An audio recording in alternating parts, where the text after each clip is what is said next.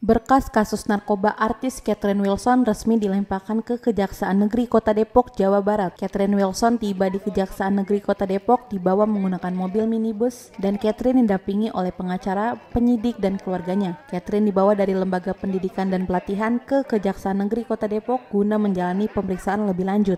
Catherine Wilson hanya bisa tertunduk pada saat keluar dari mobil Dirinya hanya menjawab pertanyaan dari awak media dan menyatakan bahwa dirinya dalam kondisi yang baik dan sehat.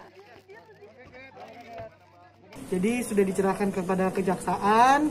Catherine sudah dalam tahap proses untuk uh, daftar ikut masuk sidang. Ya kita ngikutin prosedur sesuai dengan prosedur yang ada. Kita masih jalanin. Kita tinggal nunggu kapan jam uh, tanggal atau waktunya Catherine untuk masuk sidang. Gitu aja sih. Kita, kita tetap pada prinsipnya gini. Ibu Catherine itu memang sudah mengakui ya, namanya barang bukti ada memang sudah tapi yang namanya kita tetap berprinsip pada yang namanya penyalahguna tetap aja harus dirahap. Kita tetap akan mengacu kepada sana. Dan sedangkan sendiri sudah uh, kemarin itu memang dari pihak kejaksaan sudah melakukan P19 terkait dengan berkasnya ke Bu Catherine.